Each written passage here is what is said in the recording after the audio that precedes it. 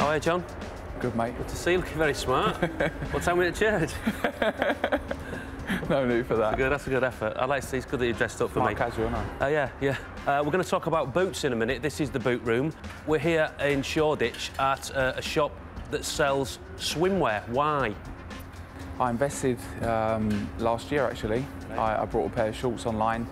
Um, is that your investment? pair of shorts online and, and then I kind of looked into it a little bit further. was happy with how they got delivered, etc. I really liked the, the fit and the quality.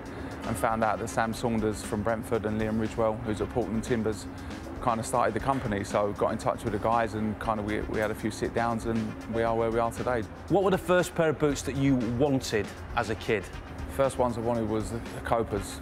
Everyone wanted the Copas, didn't Yeah. they? But- the tongues never stayed down, did Nah, they? they So you didn't. had to have the pegs on, hot water overnight. Never do that, no? No. Get the, get the pegs from the clothesline from your mum, put them on the boots, let them. So over morning you take them off and the tongues stay down. So what, what, where do you put the pegs on? On the tongues Put and the you... pegs, two, Yeah. two pegs on each tongue, like that. Yeah. That's it. Fold it over. Yeah. And then it will set. So a bit of hot water, so they set, and the crease sets so they so they stay down rather than flapping about when you're playing. Top tip for you there. It's quality. Yeah. That's brilliant.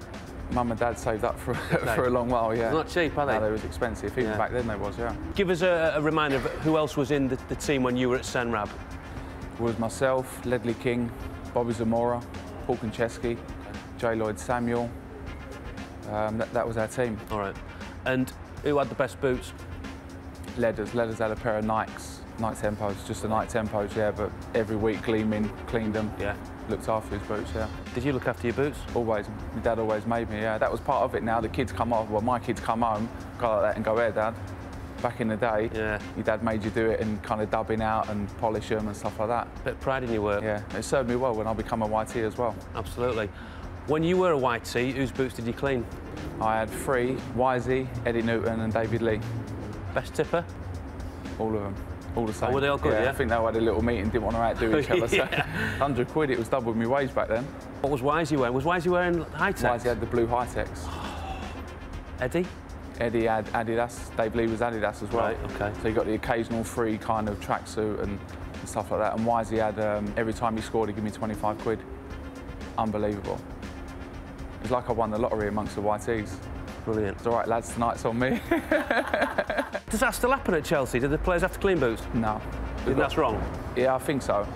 And I think as well, just, just that interaction as well. So you'd have the responsibility, firstly, of cleaning the players' boots, making sure you put them in the skip ready for the players' game.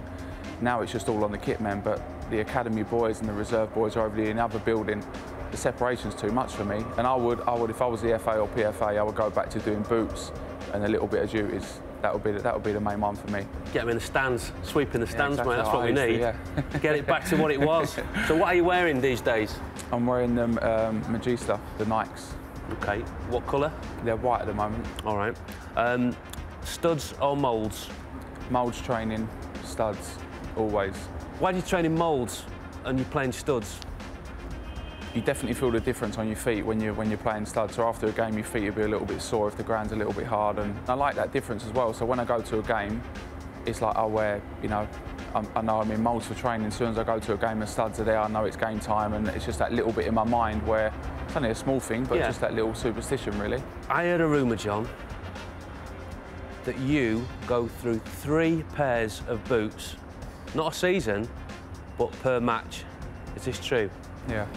Three pairs a Yeah. game? I know. I wear a pair to warm up in, Yeah. a pair for the first half, and a pair for the second half. After that, they're kind of gone. I never wear them again.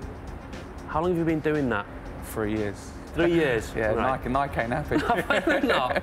I bet they're not. What happens to them afterwards? I give an awful lot of boots Yeah. to, to make a wish for their foundation so they can sell them and auction them off. And you know, we we got a lot of fans as well. So at the end of the season, during this end uh, season, I'll, I'll give them to fans and supporters and mascots.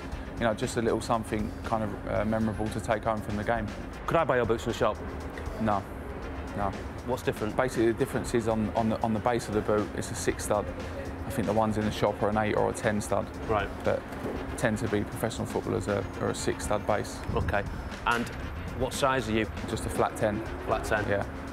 But as well, just when they get a little bit stretchy and that little bit big, I just find you lose that little bit of touch and feel, and that's why I like to wear new ones. And That's why you need three Yeah. pairs a game, yeah. yeah, exactly.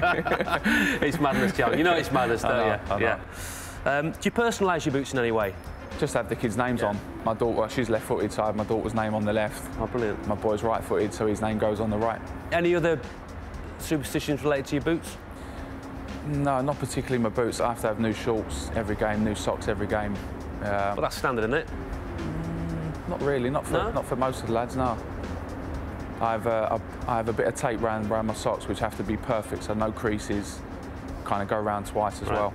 And if there's a little crease or something, I have to, you know, the ref's playing the whistle and I'm there doing my tape, and everyone's kind of telling me to get a move on. But that, that's my main ones really. So when are you going to hang your boots up, John? I'm not saying, you know, you, you know, you look like you need to or anything like that. You, you don't. I think you, there's, there's a lot of life left in you yet. But uh, Thanks, mate. what are your plans? I've got a couple of years left. Um, definitely intend to keep playing.